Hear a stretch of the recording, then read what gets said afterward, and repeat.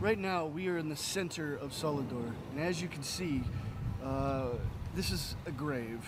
This is where someone died here in this courtyard of this civilian area, and the, their neighbors buried them here because during these heavy fighting times, there's no possibility to remove the body in a more respectful way than uh, just this. We saw this in Mariupol, Volnovakha, and many other areas throughout the last year. This is something that's very common in these heavy fighting areas. So we wish the best for whoever lays here and their family. And uh, we can see the, the uh, miner's helmet next to it. So maybe this was a, uh, a miner who died here because in Donbass is a very heavy miner community. And specifically here in Soledar, uh, there's, it's known for salt mines. Other areas in Donbass are coal mines, but here it's salt mines. So we're just going to keep uh, having a look to see what the situation is here.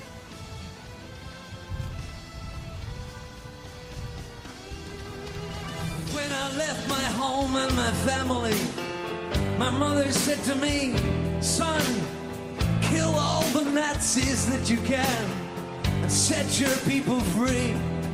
So I packed my bags and I brushed my cat and I walked out into the world. 17 years old, never a girl.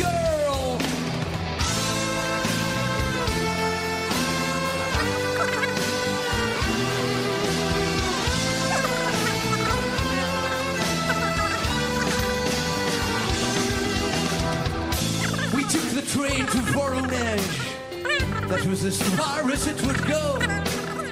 I exchanged my clothes for a uniform, bit my lip against the snow.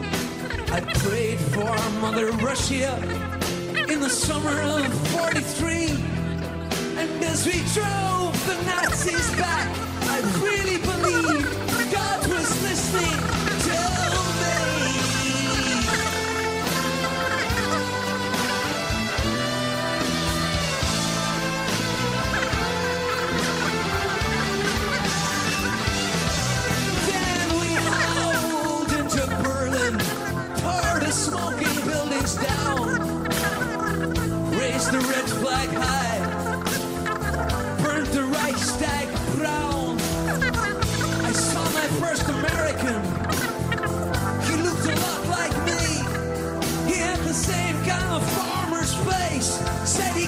he came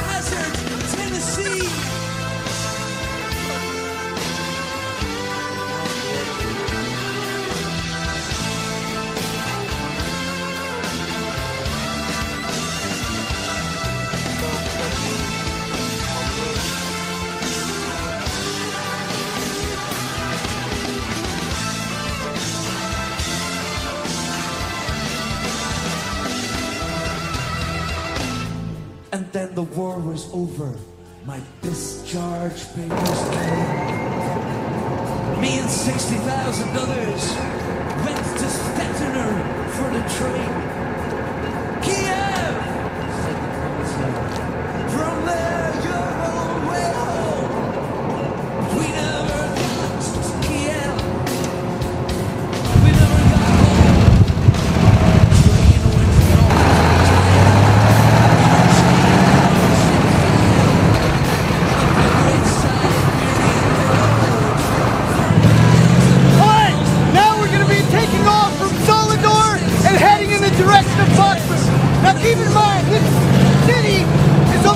completely destroyed. Before the war, there was over 10,000 people here. Now there's no civilians left. They've all been evacuated or dead.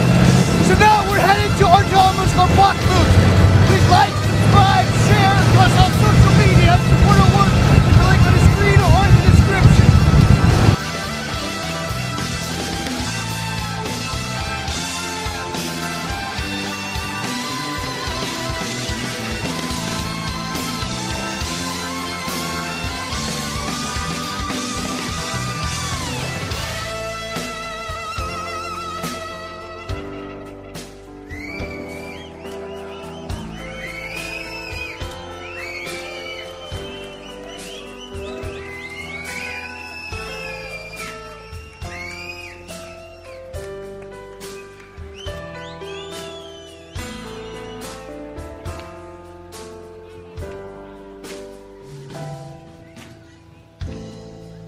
I used to love my country. I used to be so young. I used to believe my life was the best song ever sung. I would have died for my country back in 1945. But now only one thing remains.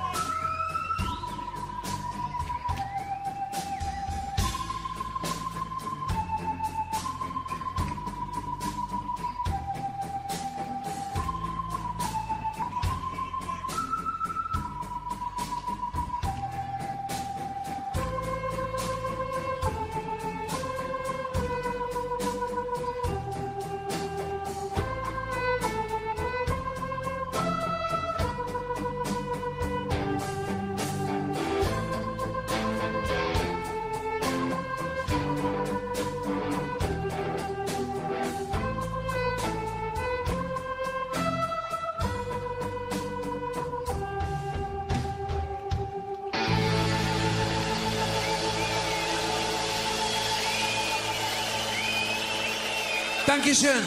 Thank you.